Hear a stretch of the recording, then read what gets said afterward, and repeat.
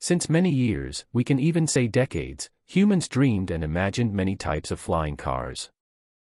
They are often portrayed in many science fiction movies from Hollywood.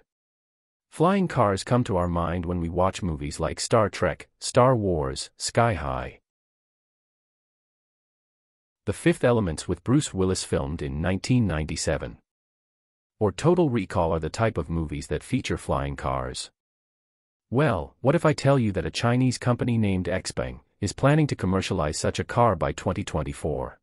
The company, led and founded by Mr. He Xiaopeng, is already a big player in the car industry, especially in China with more than 200,000 cars sold in the last 12 months. The company, considered as China's Tesla, the also a strong leader in the fabrication of electric vehicle.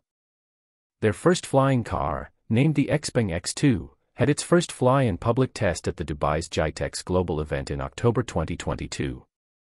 The little two-seater electric vertical takeoff and landing vehicle has an enclosed cockpit and a carbon fiber structure. It has both manual and autonomous flying modes. The car, also considered as a fifth-generation flying car adopts a minimalistic teardrop-shaped design, giving it a very futuristic look that looks straight out of a science fiction movie. By being an all-electric car, it does not produce any carbon emissions and contributes to the global effort to do away with internal combustion engine vehicles in favor of greener urban transportation.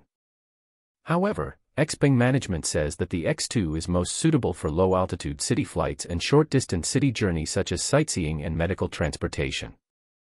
Long-term flying car transportation is not for now. However, that didn't prevent Xpeng to work at imaging the sixth-generation flying car.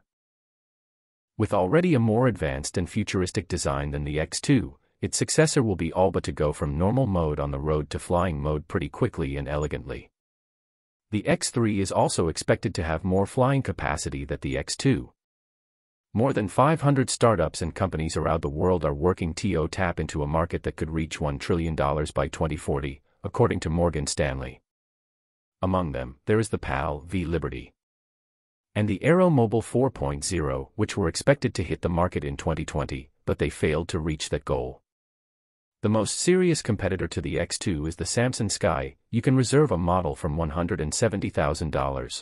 Despite challenges ahead, Xpeng CEO is confident that X2 could come to the market in 2024 as a 2024 model with starting price around 156,600 US dollars. If Xpeng win its bet, the X2 will be the first flying car of all time to be on sale. With many companies in the race to take part in this huge future market, the evolution of this industry promised to be very interesting. Many don't realize it, but these type of cars are changing the transportation industry and our lives forever. The future is there and the dream of many of our ancestors is now taking place. Do you think that Xpeng could reach their target in 2024? Thanks for watching and don't forget to subscribe and like the video.